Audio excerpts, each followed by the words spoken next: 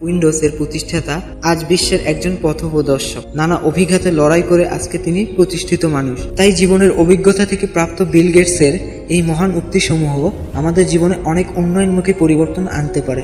এসব বন্ধুরা, আজ জেনে নেই বিল গেটসের কিছু মূল্যবান উক্তি। একবার পরীক্ষায় কয়েকটা বিষয়ে আমি ফেল করেছিলাম। কিন্তু আমার বন্ধু সব বিষয়েই পাশ করে। এখন সে মাইক্রোসফটের একজন ইঞ্জিনিয়ার আর আমি মাইক্রোসফটের প্রতিষ্ঠাতা। যখন তোমার পকেট ভর্তি টাকা থাকবে, তখন শুধুমাত্র তুমি ভুলে যাবে তুমি কে। কিন্তু যখন তোমার পকেট ফাঁকা থাকবে, তখন সমগ্র দুনিয়া ভুলে যাবে তুমি কে। আপনি যদি গরিব হয়ে জন্ম নেন, তাহলে এটা আপনার দোষ নয়। কিন্তু যদি গরিব থেকেই মারা যান, তবে সেটা আপনার দোষ। নিজেকে পৃথিবীর কারও সাথে তুলনা করবেন না। যদি তা করেন, তাহলে আপনি নিজেই নিজের অপমান করছেন। যদি আপনি ভুল করেন, তাহলে সেটা আপনার বাবা মায়ের ভুল নয়। ওটা আপনার ভুল। তাই ভুল করার জন্য দুঃখ না পেয়ে সেটার থেকে শিখুন। প্রতিদিন নিজের সেরাটা দিতে হবে। আপনি যদি কোনো কিছু ভালোভাবে না করতে পারেন, অন্তত চেষ্টা করুন। মানুষ সর্বদা পরিবর্তনকে ভয় পায়। যখন বিদ্যুৎ আবিষ্কার হয়েছিল, তখনও মানুষ তাকে ভয় পেয়েছিল। পৃথিবীর কেউই আপনার মূল্য নিয়ে ভাবে না।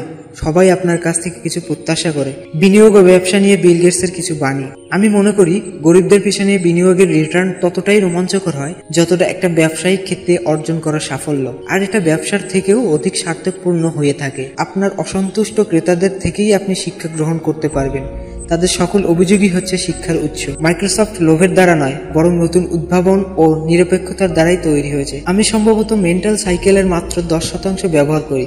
ব্যবসার জন্য ভাবার ক্ষেত্রে ব্যবসা করা এতটাও কঠিন না। বড় কিছু পেতে গেলে আপনাকে অনেক বড় ঝুঁকি নিতে হবে। সবচেয়ে অসাধারণ দাতা সেই হয় যে বাস্তবে একটি সার্থক বলিদান দিচ্ছে। প্রযুক্তি শুধু একটি উপকরণ মাত্র। ছোটদের একসঙ্গে কাজ করার ও তাদের অনুপ্রাণিত করার জন্য শিক্ষকের ভূমিকা অত্যন্ত গুরুত্বপূর্ণ। পরোপকার করার জন্য সৃজনশীলতার প্রয়োজন হয়ে থাকে। ঠিক যে পরিমাণ ধ্যান আর কৌশল একটা ব্যবসাকে তৈরি করার জন্য প্রয়োজন। সাফল্য ও নেতৃত্ব নিয়ে বিল গেটসের মহান উক্তি। ধৈর্য হলো সাফল্যের প্রধান শর্ত। সফলতার উদযাপন করা ভালো, তবে ব্যর্থতার দিকেও নজর দিতে হবে। সাফল্য অনেকটা উস্কানি দেয়া শিক্ষকদের মতো। এটা দক্ষ ও বুদ্ধিমান লোকদের চিন্তা করতে বাধ্য করায় যে তারা কখনো হার মানবে না। সবচেয়ে অসুখী মানুষের প্রতি লক্ষ্য করুন, অনেক কিছু শিখতে পারবে। আমি কোনো কঠিন কাজ করার জন্য সবসময় একজন অলস ব্যক্তিকে নির্বাচন করব, কারণ সে ওই কাজটি করার একটি সহজ উপায় বের করবে। অফিস হোক, বাড়ি হোক কিংবা রাস্তায় হোক, আমার কাছে সর্বদা একগুচ্ছ বইয়ের সম্ভার নিশ্চয়ই থাকে যেগুলো আমি পড়তে চাই। যদি আমরা পরবর্তী প্রজন্মকে দেখি, তাহলে লিডার সেই হবে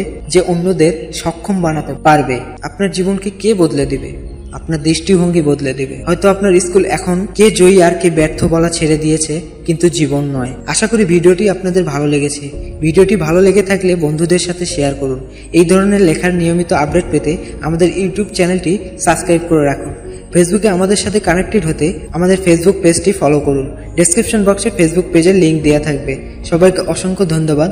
এতক্ষণ ভিডিওটি